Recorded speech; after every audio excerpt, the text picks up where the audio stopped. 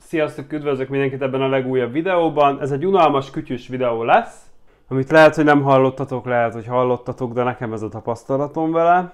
5 negatívum az AirPods Pro kapcsán. 4 hónapja van meg nekem az AirPods Pro. Tudok róla nagyon sok pozitívat mondani, de ez a videó nem erről szól, mert a pozitívat azt mindenki el tudja mondani hanem inkább a négy hónap tapasztalatát fogom nektek itt elmondani. Összeszedtem öt dolgot, és akkor ezt fogjátok látni.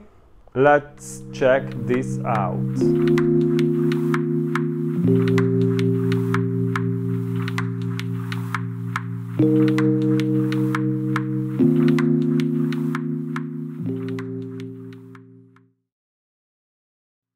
Az első negatívum az, hogy sajnos nem mindig tölt fel mindkét füles.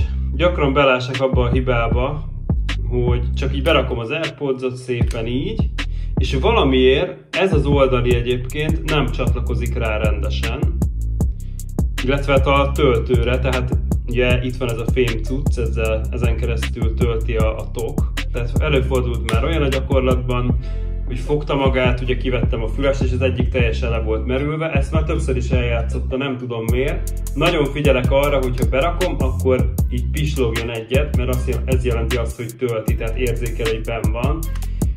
Ez egy ugye hát négy hónapos, tehát az első generáció, vagy az első gyártás, gyakorlatilag ez az AirPods lehet, hogy emiatt van ez a probléma, de hát ez elég nagy probléma, mert mondom, volt olyan, hogy nem tudta, csak az egyik szól gyakorlatilag, és ez teljesen nullán volt.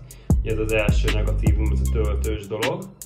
Második negatívum, karcolódás. Ugye én vettem rá ilyen kínai tokokat egyébként, majd mutatok többet is be fogok vágni, három van összesen, de azért eléggé karcolódik ez az AirPods, szóval egy hónapig nem raktam rá tokot, mert még nem érkezett meg.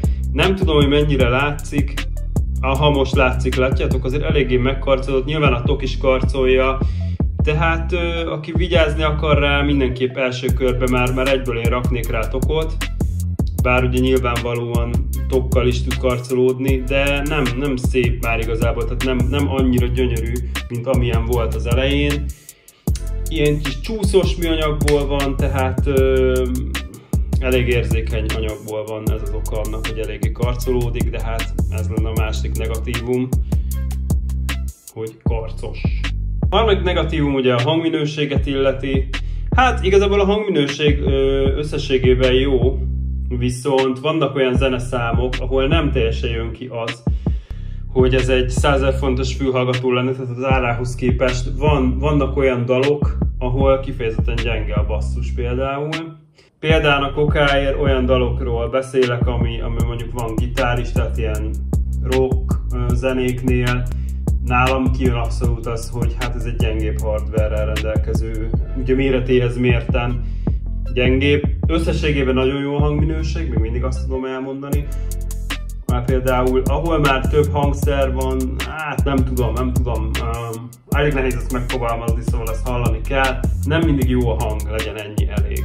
Ez lenne akkor a harmadik. A negyedik az, hogy ugye nagyon csúszós műanyag réteggel van, ez nagyon csúszós műanyagból van ez a fülhallgató, ez egy nagyon könnyű leejteni, és elhagyni is ugye drága nagyon pótolni, és hogyha lejted, nyilván megvan az esély arra, hogy belásik, belásik olyan helyre, ahonnan nem tudod kiszedni, szóval ez is egy elég nagy negatívum. Ezt is, ez is ugyanaz az anyag egyébként, a tok, tehát az is ugyanúgy simán kicsúszhat a kézből, és akkor el bárhova, bárhova leeshet, ahonnan nem tudod kivenni, nagyon kell rá vigyázni, ezért is érdemes egy tokot rátenni, mint ahogy én is tettem, hogy kicsit jobb fogása legyen, ne annyira csúszson, de ez a negyedik negatívum, hogy főleg a füleseknél jellemző ez, hogy nagyon-nagyon könnyű lejteni, mert így csúszós műanyagból van gyakorlatilag. Ötödik és utolsó negatívum az érintő gombra vonatkozik. Ugye sokkal jobb lenne, ha ez egy fizikai gomb lenne, mert van az, hogy megnyomom, egyrészt nem érzékeli, vagy nem veszi be a nyomást, másrészt nincs az a klikkelő hang. Tehát, ha megnyomod, akkor hallasz egy ilyen klikkelő hangot, tehát egy visszajelzés, hogy ez sikerült. És ennél nem, egyrészt nem mindig veszi be ezt a nyomást, másrészt sokkal jobb lenne, ha fizikai gomb lenne, tudjátok, mint a sima Apple fülesen, amit adnak az iPhone-okhoz. Azon van ilyen fizikai gombbal rajta gyakorlatilag, itt is szerencsésebb lenne fizikai gomb, hogy érezd, hogy megnyomtad, mert ez, ez ugye egyáltalán nem, tehát érintés vagy nyomás érzékeny ez a gomb, de semmilyen visszajelzés nincs azon kívül, hogy ugye egyet így hát visszajelez, kattanással visszajelez, abban az ügyben, hogy sikerült-e megnyomni, viszont ezt, ez, ez, ez, nem tudom, ez olyan instabilabbnak érzem én, mint hogyha fizikai gomb lenne rajta. Nyilván ennek is megvan az oka, hogy miért így alakították ki, de nekem ez, ez néha megszoktam már, de nem, nem mindig úgy működik, ahogy annak kéne. Na, ennyi is volt már ez a rövid kis videó, köszönöm, hogy megnéztétek. Hát remélem, hogy tudtam segíteni negatívumok kapcsán. Tényleg, aki ennyit rá szeretne szállni, azt mondom, hogy nyugodtan. Tényleg ennyit tudtam négy hónap alatt felhozni.